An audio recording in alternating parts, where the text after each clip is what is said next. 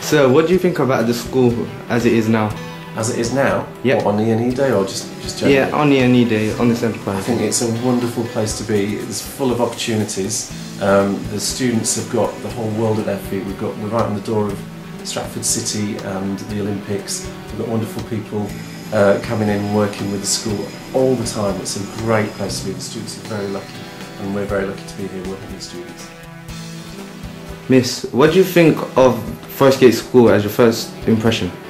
I think it is a really great school, full of diversity, loads of opportunities, lots of atmosphere. Sounds like really buzzy kids that we want to do some work with. Um, and your teachers really, really want to engage with businesses so we can help you understand what's out there in the real world when you, uh, you lose your comfort of school. So I think we're going to have some great fun together over the next few years. Have you heard about today's uh, E&E Day and what we're doing today in this week? I've heard quite a bit about it, um, and that's one of the reasons we're here today. One of our chefs is actually working with some other people preparing some food for some guests you've got coming today, um, and we're going to build on some projects we can do with you over the coming months that really link in with the whole enterprise projects that you're doing. Thank you. So, what do you think of Forest Gate Community School? Forest Gate Community School, I think, is a fantastic school. I mean, the teachers um, seem to be really, really enthusiastic.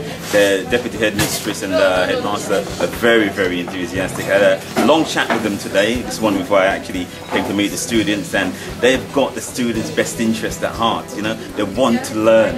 They want the, the students to learn. You know, and by in, inviting myself and my other colleagues in today, it just shows you how far they want to take school. I used to actually go to Forest Gate Community School, and it's a far cry from what it is now.